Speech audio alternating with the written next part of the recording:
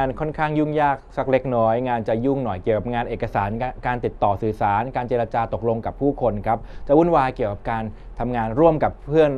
รอบข้าง สังคมรอบข้าง แล้วก็อาจจะเป็นหน่วยงานข้างนอกด้วยนะครับ ส่วนใหญ่จะเน้นเรื่องของเวลาและเอกสารที่จะต้องคอยดีลงานกันตกลงเรื่องงานกันนะครับ ส่วนเรื่องการค้าขายนะครับค้าขายได้เรื่อยๆครับพอมีพออยู่ พอเลี้ยง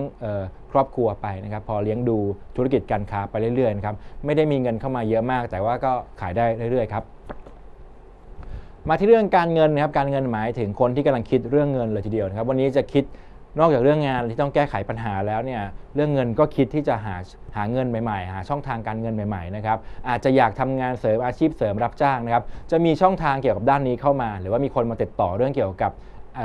พวกงานเสริมครับอาชีพเสริมอย่างเช่น อาจจะทำโอทีเป็นต้นนะครับเป็นงานล่วงเวลาไป หรือว่าอาจจะมีคนหางานพิเศษมาให้ทำหรือว่ามีคนชวนไปทำงานพิเศษก็ได้เหมือนกันครับนอกจากนี้ยังหมายถึงการเสี่ยงโชคเสี่ยงดวงด้วยนะครับการเสี่ยงโชคเสี่ยงดวงเนี่ยมีโอกาสไปข้องแวะเกี่ยวกับพวกการพนันต่างๆ ก็ต้องระมัดระวังนิดนึงนะครับส่วนเรื่องของนักลงทุนต่างๆ มีโอกาสได้ผลกำไรที่ดีเหมือนกันครับ